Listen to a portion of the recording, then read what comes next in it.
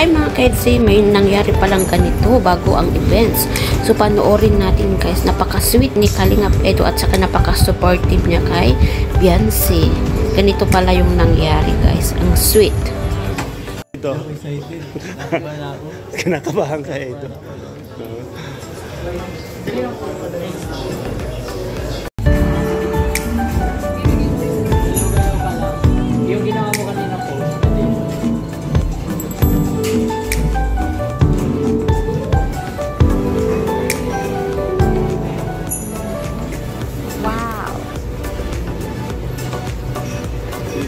Three, two, one, go.